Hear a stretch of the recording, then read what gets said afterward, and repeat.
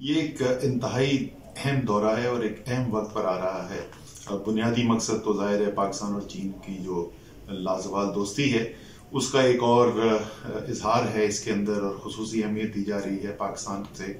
वज़ीर अजम पाकिस्तान की सरबराही में जो डेलीगेशन जा रहा है। लेकिन वहाँ पर और भी इसके अलावा बहुत सारे अमूर ओलंपिक्स के अलावा भी वहाँ पर डिस्कस होने वाले और जो हमारी ज़िम्मेदारी लगी थी खसूसी तौर पे प्लानिंग डिवीज़न की सी पैक अथॉरिटी की, वो पाकिस्तान में चीन से सरमाकारी को मजीद और फरोग देना है।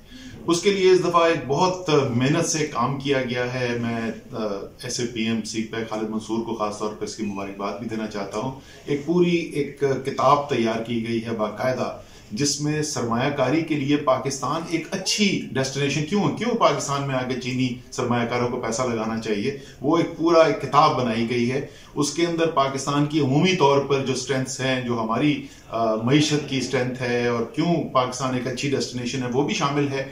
उसके अलावा वो यहाँ पर अगर आएँगे तो उनको क्या सहूलतें मुहैया होंगी, क्या इंसेंटिव होंगे, वो शामिल है।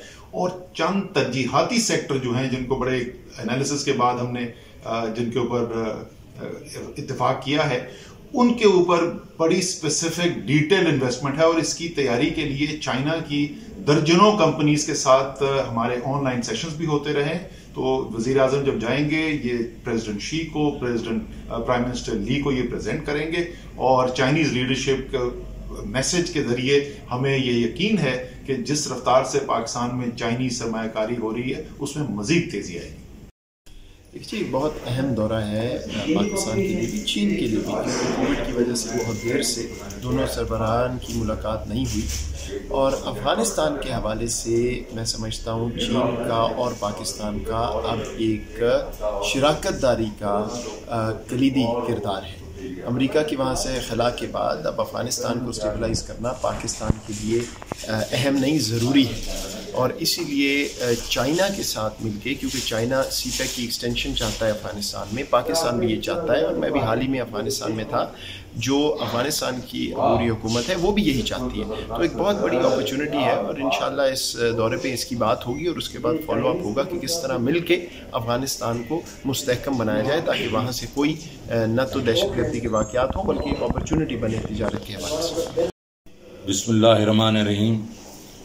जो कल आईएमएफ ने हमारी सिक्स ट्रांच जो अप्रूव किया है, ये पाकिस्तान की इकानमी के लिए एक बहुत ही खुशाइन चीज़ है, क्योंकि इसका मतलब है कि आईएमएफ जो हमारी, जो इस वक्त इकोनॉमिक स्ट्रेटजी है, उसे एग्री करती है और इन ये जो अप्रूवल आई है, इससे हम, हमारी इकानमी में एक स्टेबिलिटी आएगी, हमारी करेंसी में स्टेबिलिटी आएगी। दूसरा, मैं इस, हम लोग इस वक्त जा रहे हैं चाइना ये चाइना का जो ट्रिप है, ये बहुत ही इम्पोर्टेंट है हमारे लिए। पॉलिटिकली भी इम्पोर्टेंट है, लेकिन इकोनॉमिकली बहुत इम्पोर्टेंट है।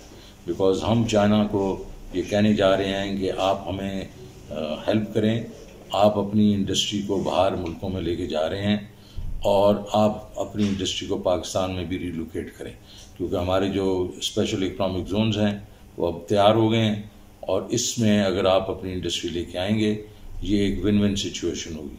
इसके अलावा प्राइम मिनिस्टर जो हैं, वो उनसे ये भी कहेंगे कि एग्रीकल्चर की ट्रांसफॉर्मेशन प्लान में वो हमारी मदद करें, क्योंकि एग्रीकल्चर हमारे बहुत ही एक इंपॉर्टेंट जगह रखता है और एग्रीकल्चर की ग्रोथ से ही हमारी ओवरऑल इकॉनमी ग्रो करती है। आज जो हमारी विज़िट है चाइना के बहुत अहम ट्रिप है। इसमें ट्रेड के हवाले कई चीज़ें या हमें, या उनके साथ गुफ्तु करनी है। पहली बात यह है कि जो हमारा एफ़ टी ए है, उसमें चंद एरियाज़ में या इम्प्रूवमेंट करना है तो वो हम लोग करेंगे। और जो ख़ास एरियाज़ हैं, वो है rice cement fruits and vegetable हमारे सारे एग्रीकल्चर प्रोडक्ट्स इन काफ़ी बेनिफिट्स मिलेंगे और इससे हमारा एक्सपोर्ट बढ़ेगा और वहाँ से टेक्नोलॉजी हासिल करनी है तो हमारे एग्रीकल्चर